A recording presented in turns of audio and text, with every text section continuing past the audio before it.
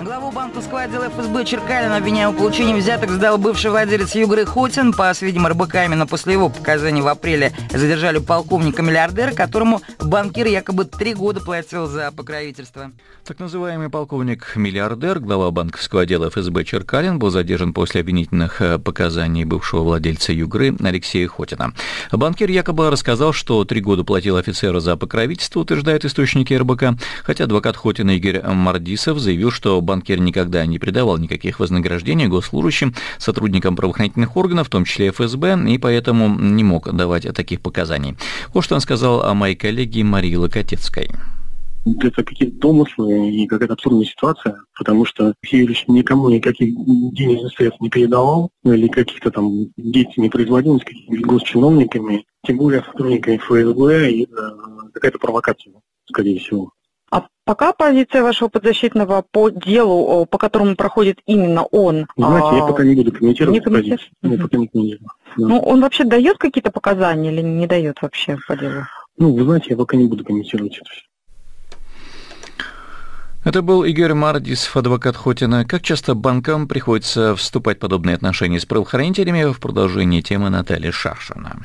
Бывшего владельца Югры Алексея Хотина, подозреваемого в выводе активов, поместили под домашний арест в середине апреля. И, как описывают источники РБК, для банкира стало большой неожиданностью, что к нему пришли сотрудники ФСБ, и он понял, что нет иного выхода, как рассказать все. И якобы рассказал, что три года платил Черкалину как главе банковского отдела управления К службы экономической безопасности ФСБ за покровительство и притормаживание уголовных дел. Конкретные суммы неизвестны, но некоторые выводы о масштабах деятельности деятельности Черкалина можно сделать из того, что в квартирах его и его коллег нашли наличные и драгоценности на 12 миллиардов рублей.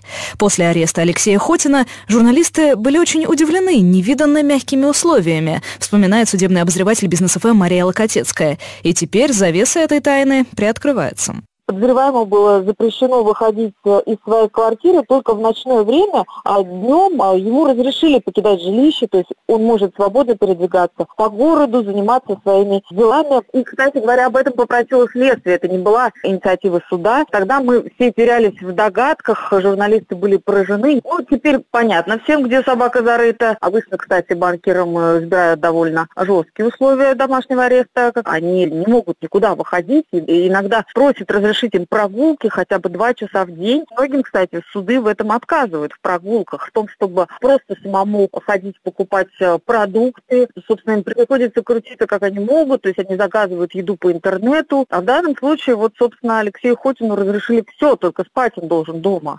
Отматывая назад ситуацию с Югрой, складывается такая картинка. Беспрецедентный по масштабу крах банка. Но Хотин ни от кого не скрывался. ЦБ шесть раз просил правоохранителей обратить внимание на возможный вывод средств. Но почему-то эти попытки не давали результата. Хотина задержали только спустя два года, этой весной.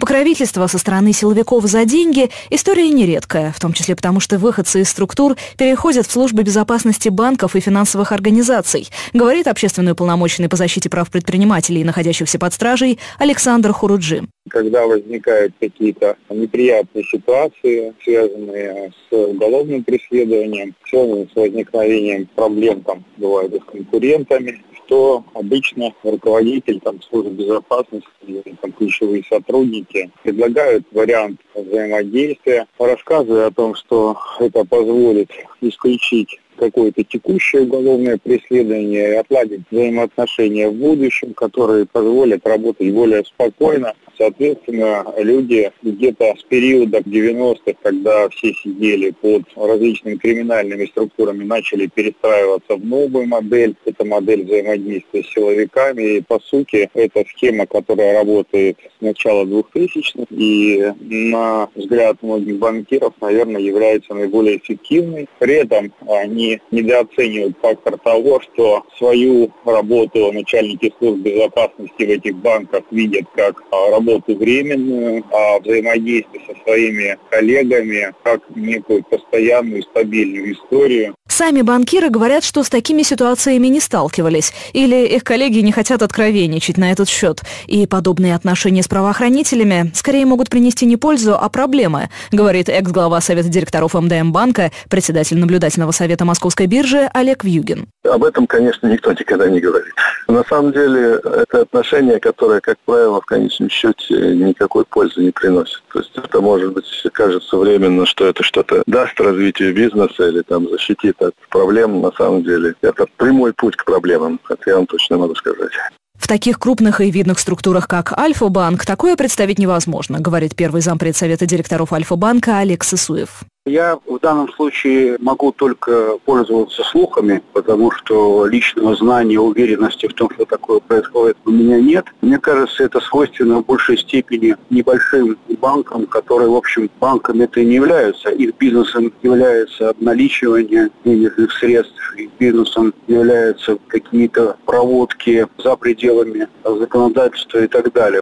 У экспертов есть и такая версия, что найденные 12 миллиардов – это деньги некой бизнес-структуры, предназначенные для обналичивания. Это подтверждают ходившие на рынке разговоры, что эту сферу крышевали отдельные сотрудники ФСБ. Даже бытовала шутка, что пока этим занимались сотрудники полиции, процент обналички был ниже, а рост комиссии по неофициальной обналичке в последние годы связан с тем, что сменилась крыша, которая стала более алчной.